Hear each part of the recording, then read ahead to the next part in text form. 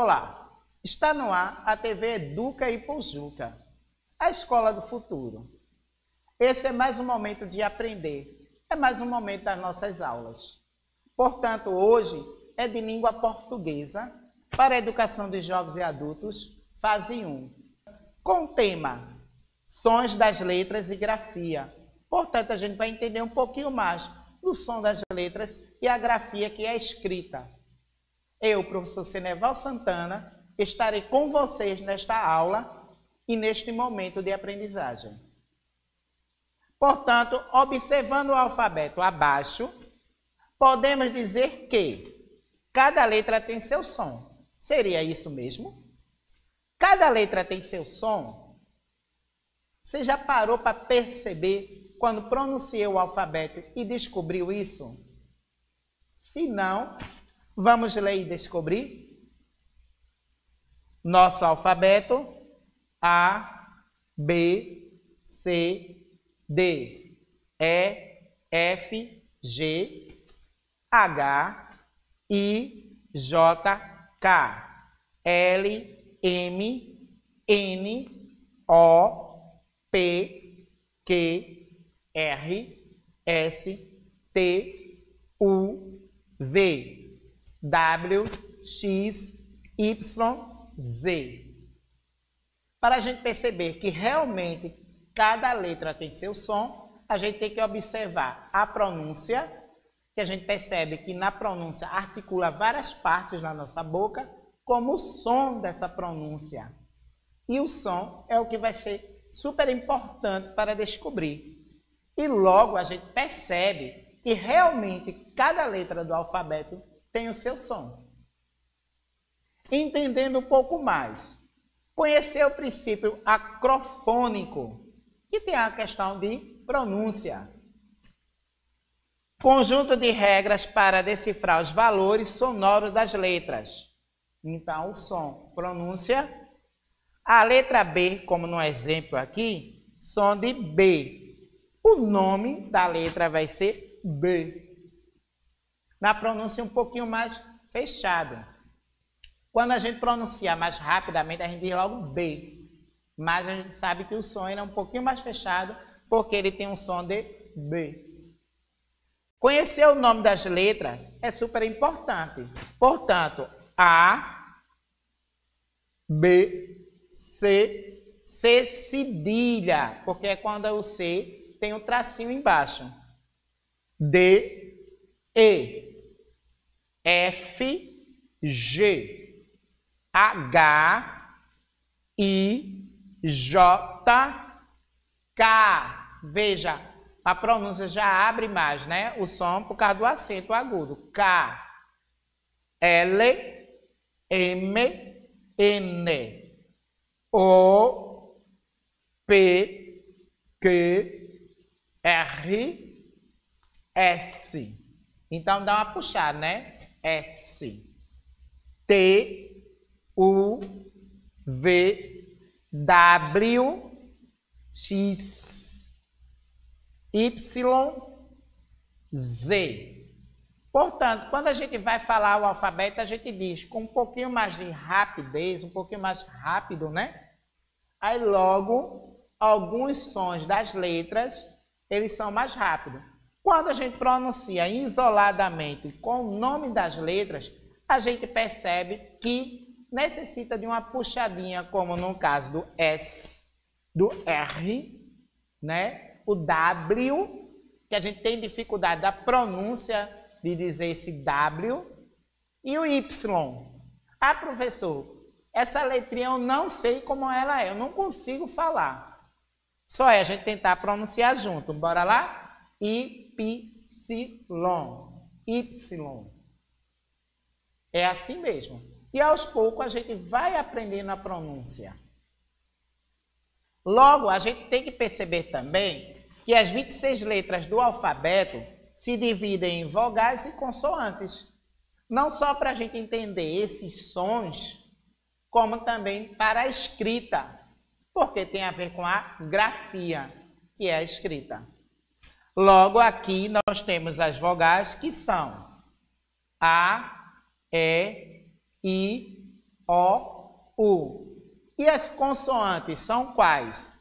B, C, D, F, G, H, J, K, L, M, N, P, Q, R, S, T, V, W, X, Y, Z. A junção das consoantes e vogais formam as sílabas, que juntas vão formar as palavras. Mas como é que vai se dar isso, professor? Bem, a gente tem que perceber que vai de acordo com o som e a composição. Qual, qual a função da letra? Preencher o lugar na escrita das palavras. Portanto, cada letra ela vai ter o seu som, que juntada à outra vai dar o som da sílaba e vai formar o som da palavra. Exemplos: casa, temos C, A, S, A. Por isso que C, A, K, S, A, Sa. Casa. Boca, temos o B, O, C, A. B, O, Bo, C, A, K. Boca. E logo também temos a palavra panela. Só que o som de pan aumenta mais na primeira sílaba por causa do N da segunda sílaba. Portanto, a gente tem que entender a composição, que é o P, A de pá, N, E de né e L, A de lá o pá, o né e o lá. Juntando tudo vai dar panela. A escrita de palavras em composição de sílabas e letras se dá da seguinte forma. O C mais A vai dar o que? O K. O V mais A vai dar o VA. E o L mais O vai dar o LO. Portanto, nós temos o K, o VA e o LO. Juntando essas sílabas, a gente vai formar que palavra? Cavalo. Portanto, a palavra é cavalo. Logo, nós temos o C mais O, que é o CO. O M mais I, que é o MI. O D mais A, que é o DA. Portanto, temos o CO, o MI e o DA. Juntando esses três sons, qual vai ser a palavra? Comida. Portanto, teremos a palavra comida. Relembrando que a junção das consoantes com as vogais vai ser formada as sílabas. Logo, a junção das sílabas vai formar as palavras.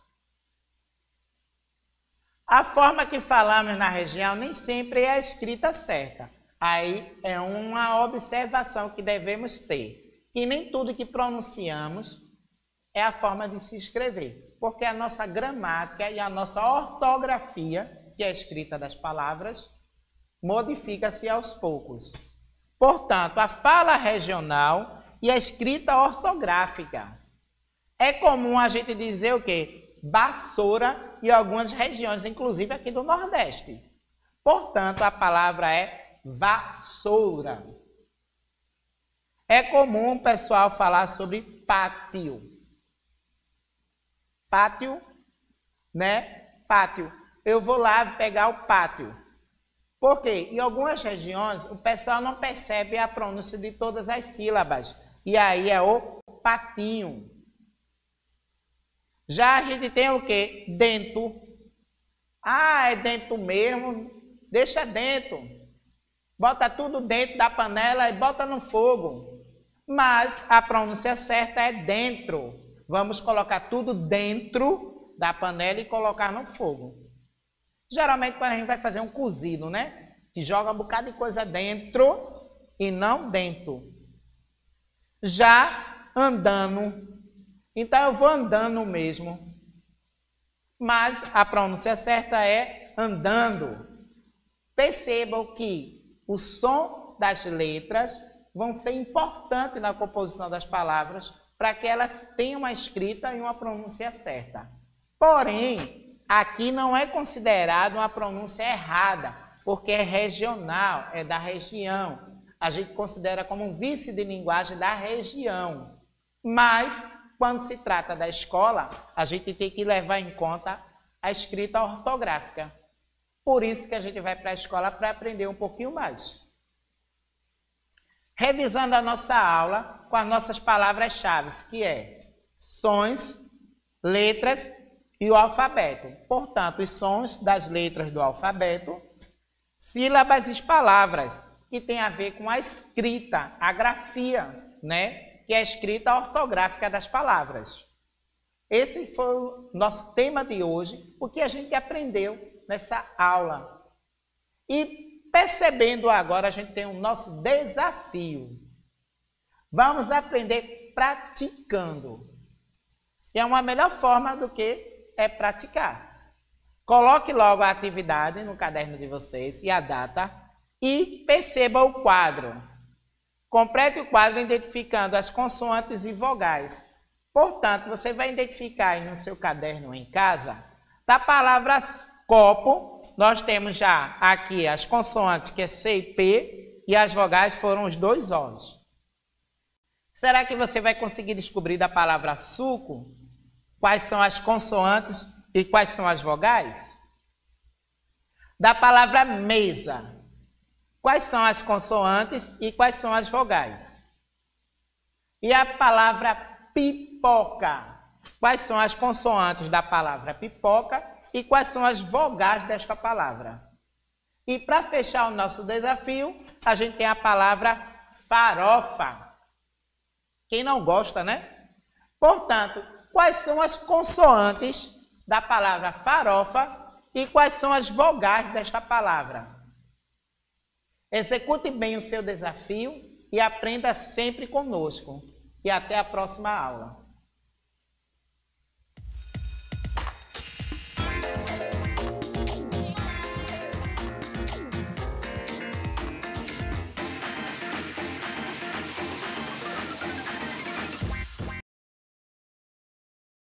Embaixo, direita e esquerda.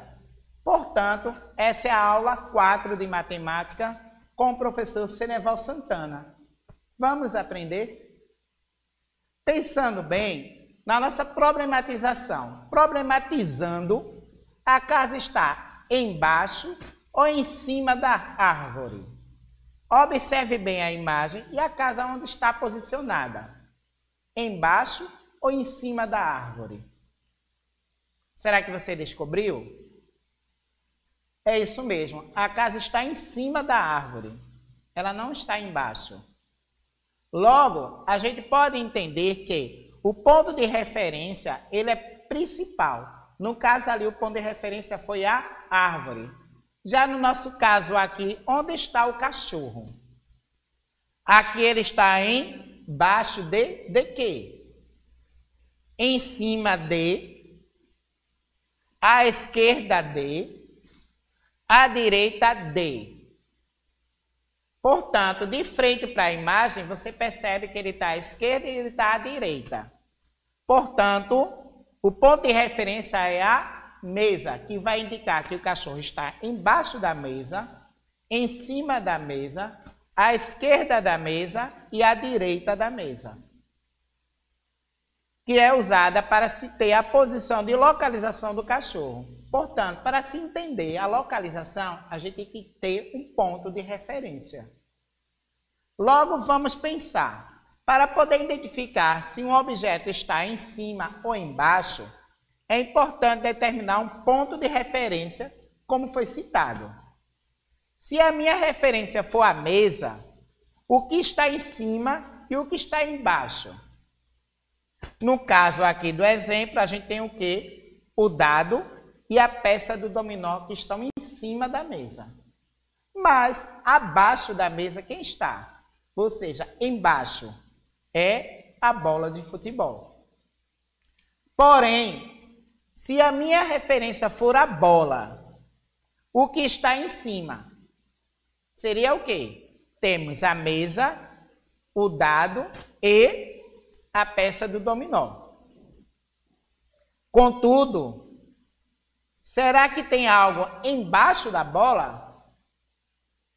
Não temos nenhum objeto embaixo da bola, porque a bola já está no limite, que a gente pode considerar o chão, não é isso? Então, a gente só tem objetos acima da bola quando a bola for a referência, o ponto de referência para a localização. Para localizar algo ou alguém, é importante determinar um ponto de referência. Observe o ábaco e escolha uma bolinha para localizar a posição das outras. Sendo assim, escolhendo a bolinha marrom, que ela está aqui, como ponto de referência, a bolinha branca está à esquerda ou à direita?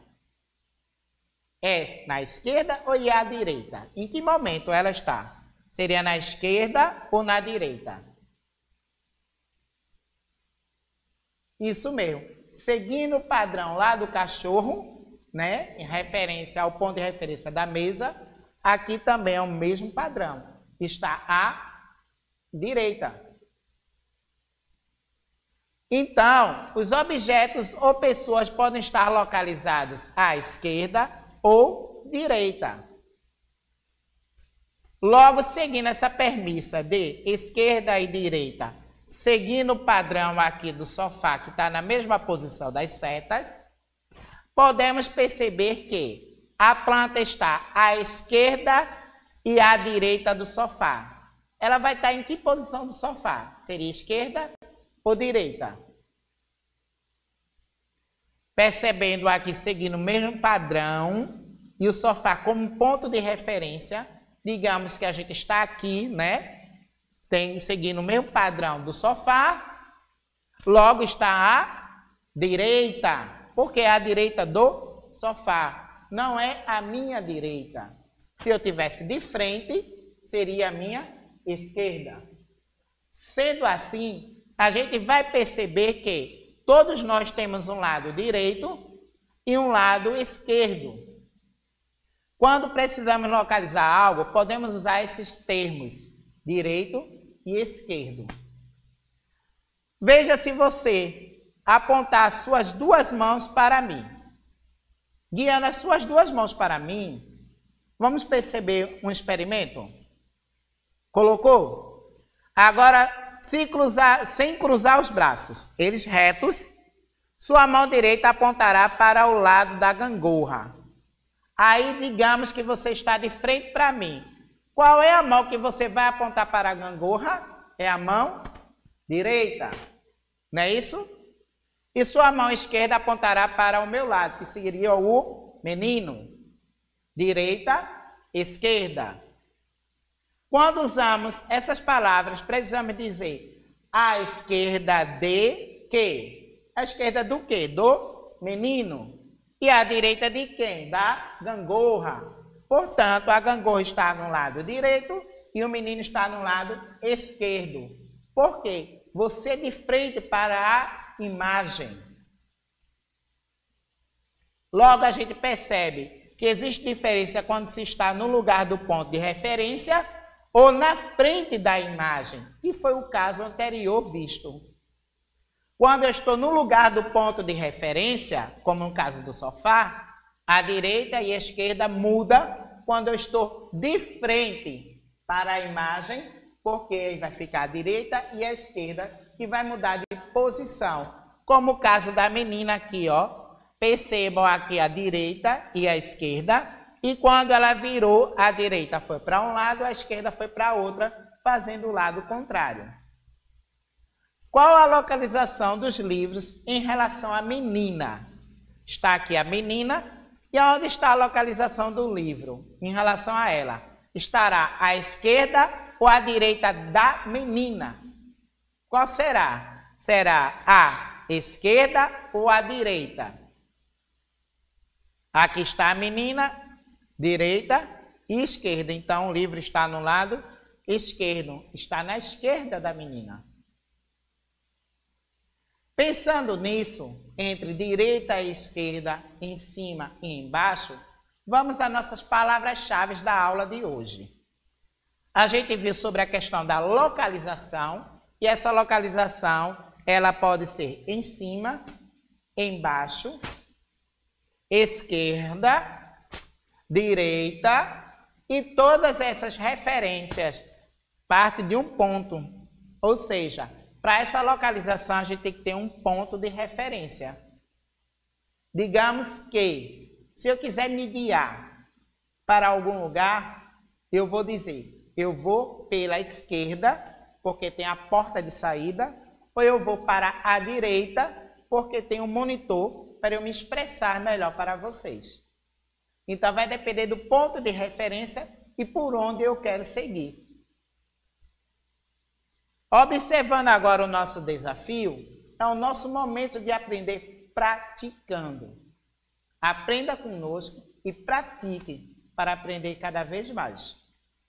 Sendo assim, anote aí o nome de vocês, a atividade de hoje com a data e observe a imagem em relação à mesa, escreva o que temos. Então, de acordo com a imagem, o que temos em cima? Em cima de quem? Eu não disse que é em relação à mesa? A mesa é o ponto de referência. Portanto, em cima da mesa eu tenho o quê? Observe. Apesar que está um pouco antigo, hoje o pessoal usa muito mais atualizado, né? Para ligar, para receber mensagens. Né? Mas isso daqui é ele mesmo, viu, pessoal? É um CE a dica já foi dada. Temos também um o quê? Com o quê? Então, está em cima da mesa. E abaixo da mesa, ou seja, embaixo da mesa, quem é que está? Embaixo, quem é que está? Mas só é o animal? Temos mais alguma coisa? Eu acho que a gente tem um objeto aí de lado do animal.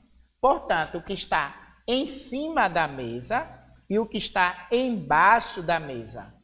Registre aí nesse nosso desafio, né? Faça com atenção e aprenda de montão conosco aqui na TV Educa e Pojuca. Obrigado pela presença de vocês e até a próxima aula.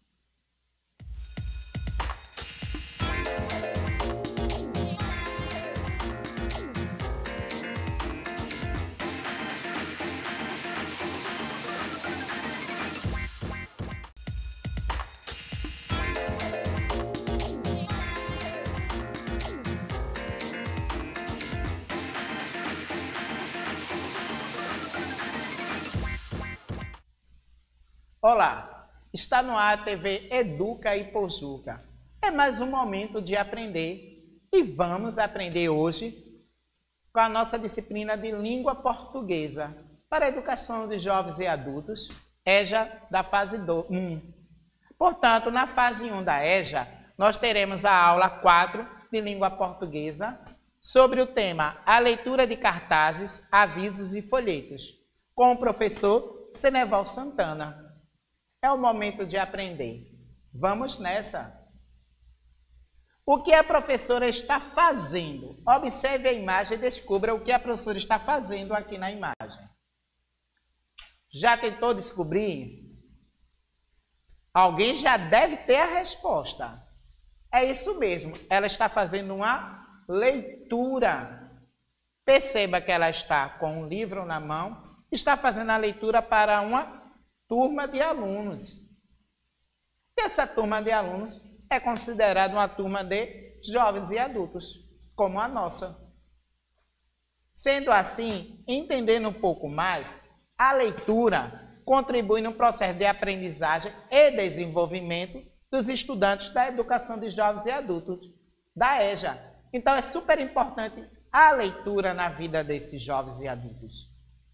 Ou seja, você percebe que o aprender a ler, além de fazer parte da prática da sala de aula, ela é significativa para cada aluno que está aprendendo. Ele se sente vivo dentro da sala de aula, porque ele se sente, né, descobrindo a parte da leitura. Sendo assim, a leitura contribui na escrita, a distinguir gêneros textuais, tipos de textos, e as diferenças entre a linguagem oral e escrita, porque a leitura ela vai começar a abrir o meu mundo de entendimento e vai conseguir fazer com que eu consiga diferenciar o que é linguagem oral, o que é linguagem escrita e os diversos tipos de textos.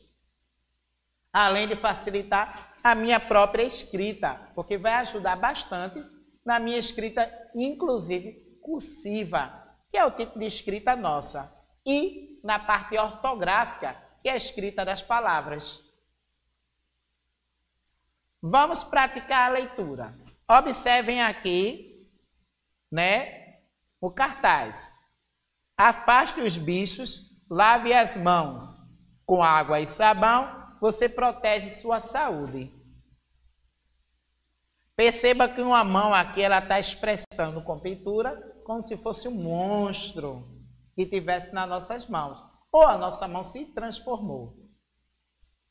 O cartaz tem o objetivo de transmitir uma mensagem, muito usada em propagandas publicitárias e campanhas educativas, como o caso aqui é uma campanha educativa sobre o processo de lavar as mãos com água e sabão, principalmente agora, nesse período de pandemia, para justamente evitar o contágio de vírus e bactérias através das mãos.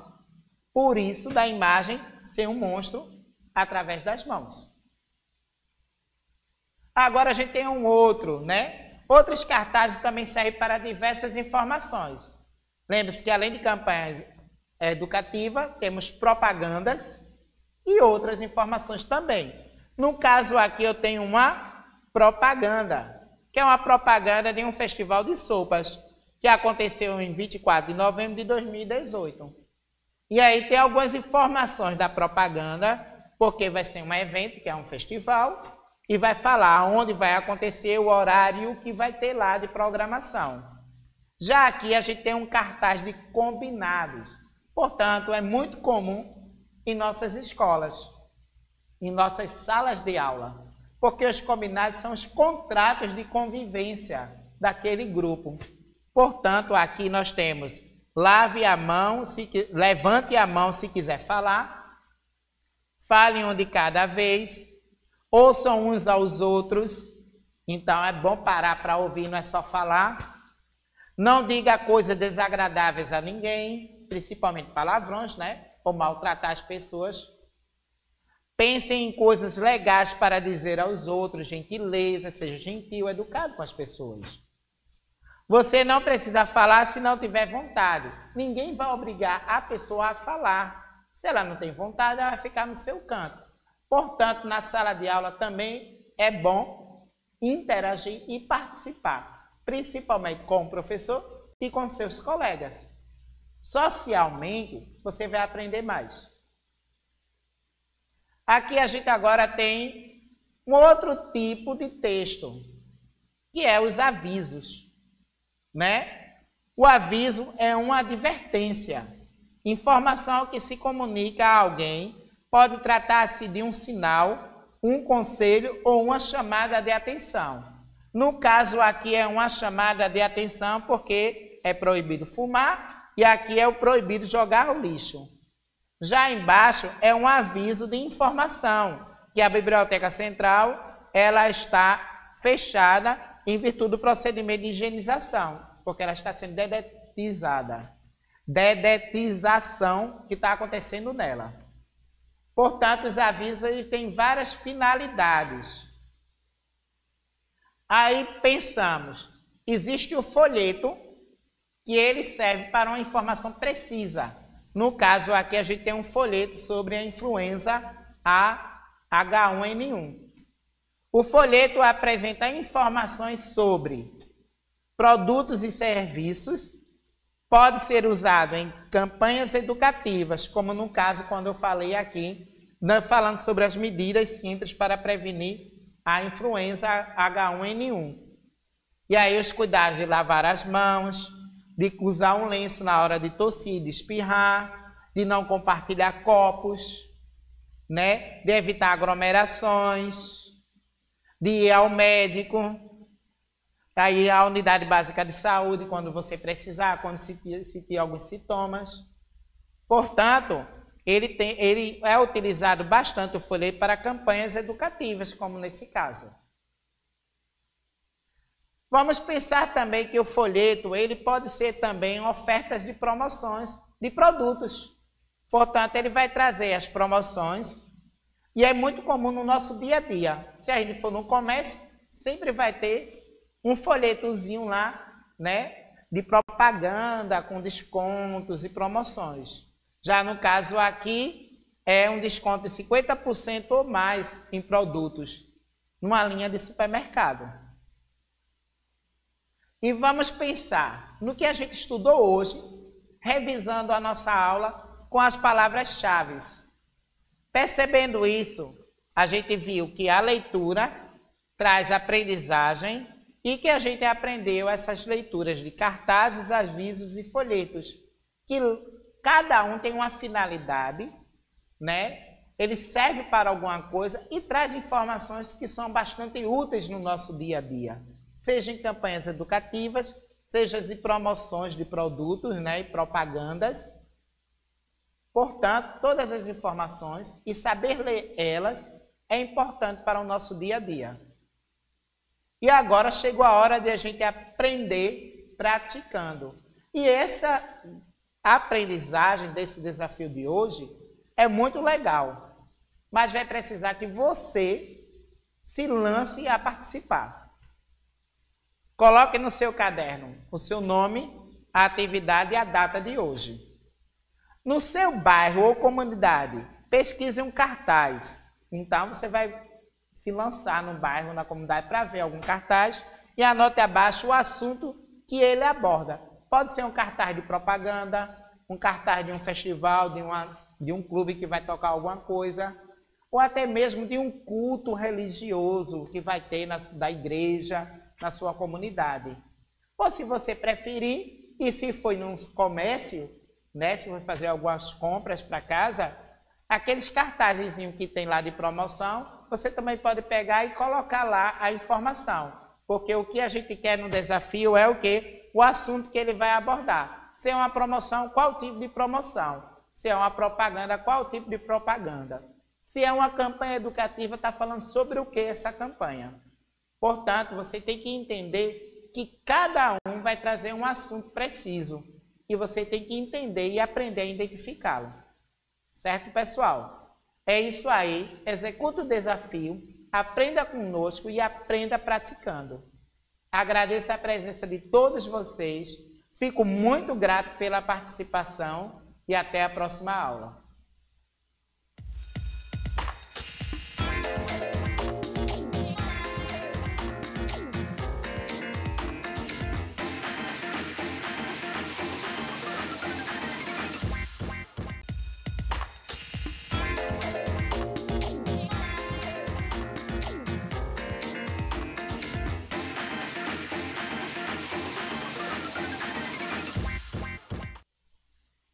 Olá, está no ar a TV Educa e Pojuca, a escola do futuro. Esse é mais um momento de aprender, é mais um momento das nossas aulas. Portanto, hoje é de língua portuguesa para a educação de jovens e adultos, fase 1. É a aula 3 de língua portuguesa com o tema Sons das letras e grafia.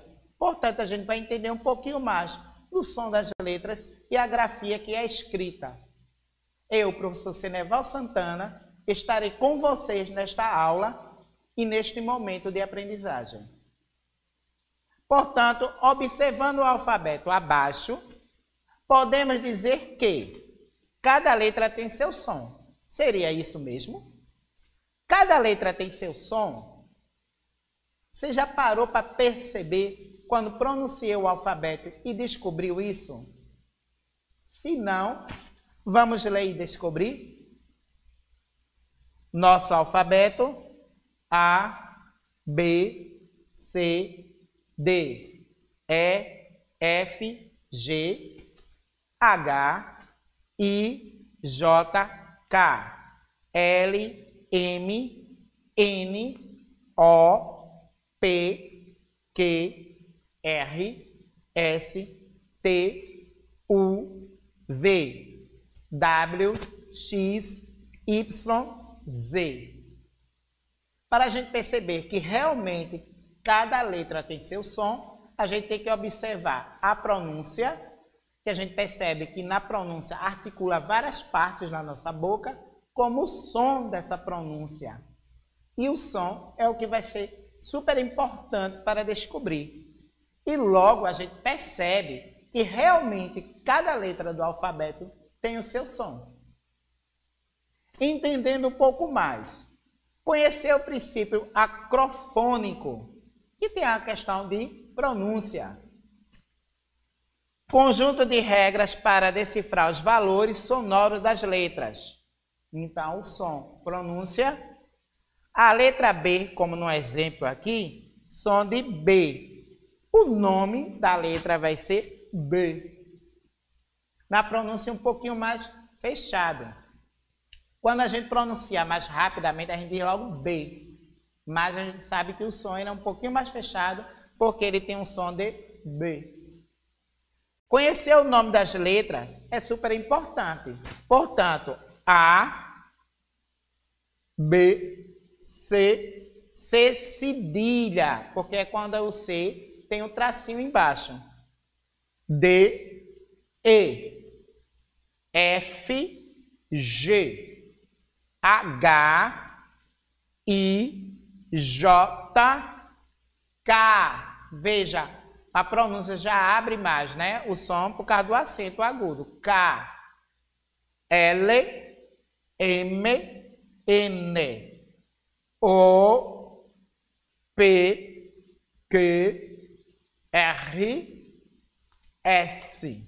Então dá uma puxada, né? S, T, U, V, W, X, Y, Z. Portanto, quando a gente vai falar o alfabeto, a gente diz com um pouquinho mais de rapidez, um pouquinho mais rápido, né? Aí logo, alguns sons das letras, eles são mais rápidos. Quando a gente pronuncia isoladamente com o nome das letras, a gente percebe que necessita de uma puxadinha, como no caso do S, do R, né? O W, que a gente tem dificuldade da pronúncia de dizer esse W, e o Y. Ah, professor, essa letrinha eu não sei como ela é, eu não consigo falar. Só é a gente tentar pronunciar junto. Bora lá? Y, Y. É assim mesmo. E aos poucos a gente vai aprendendo a pronúncia. Logo, a gente tem que perceber também que as 26 letras do alfabeto se dividem em vogais e consoantes.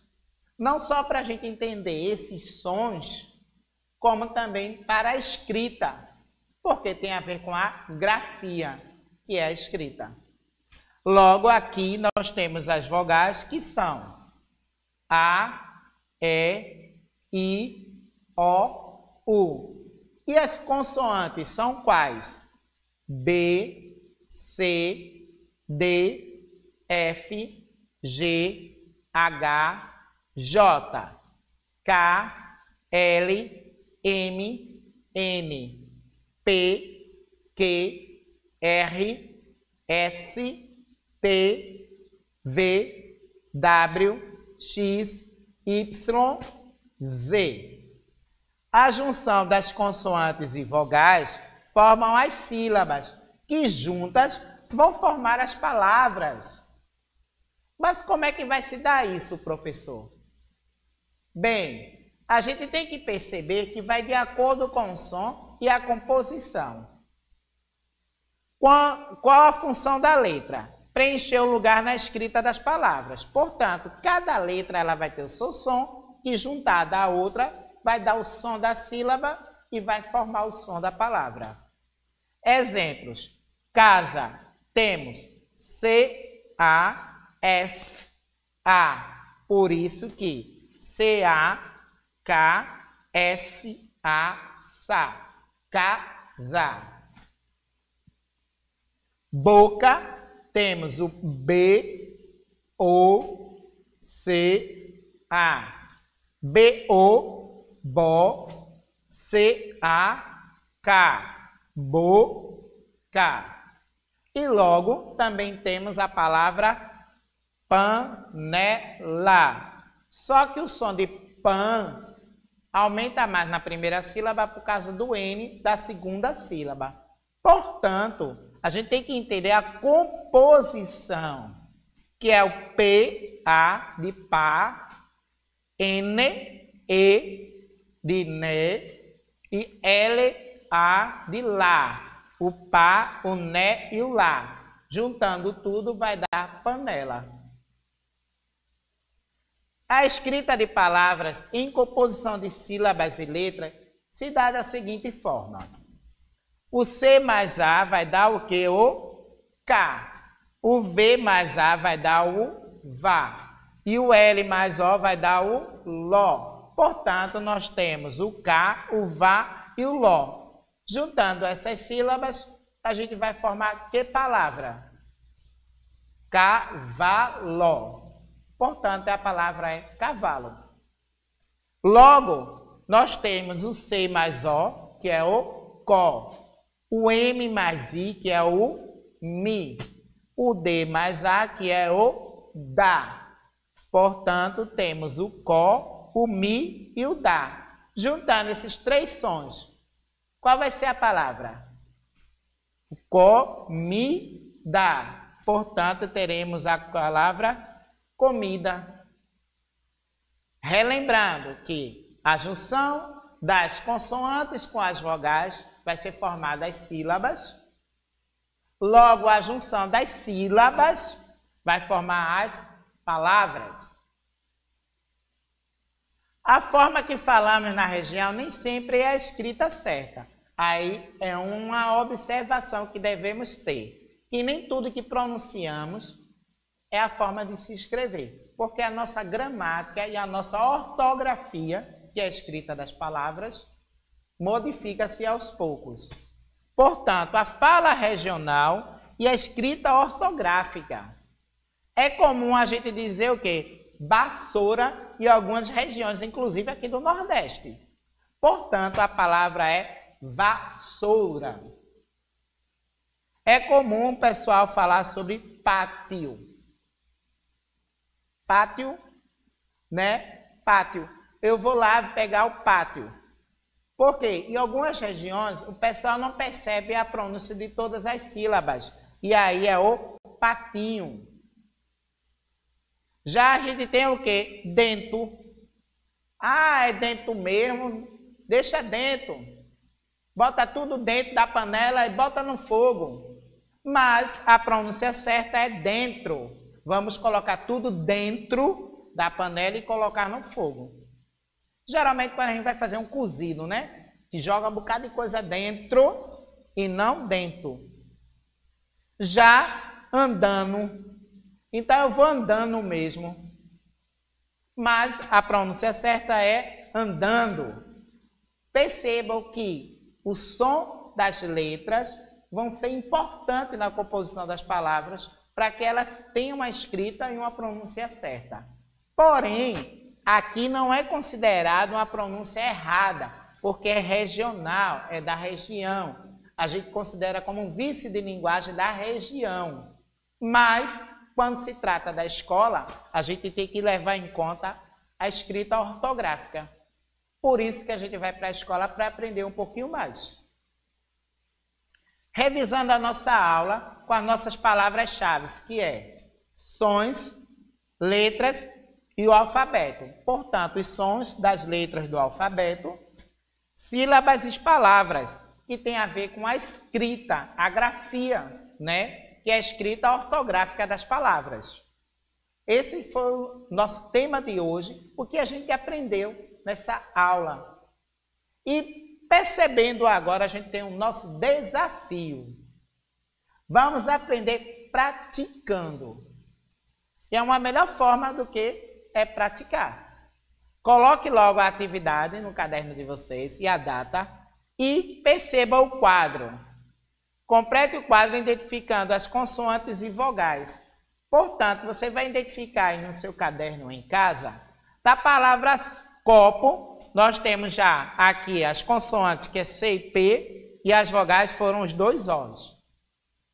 Será que você vai conseguir descobrir da palavra suco quais são as consoantes e quais são as vogais? Da palavra mesa, quais são as consoantes e quais são as vogais? E a palavra pipoca, quais são as consoantes da palavra pipoca e quais são as vogais desta palavra? E para fechar o nosso desafio, a gente tem a palavra farofa. Quem não gosta, né?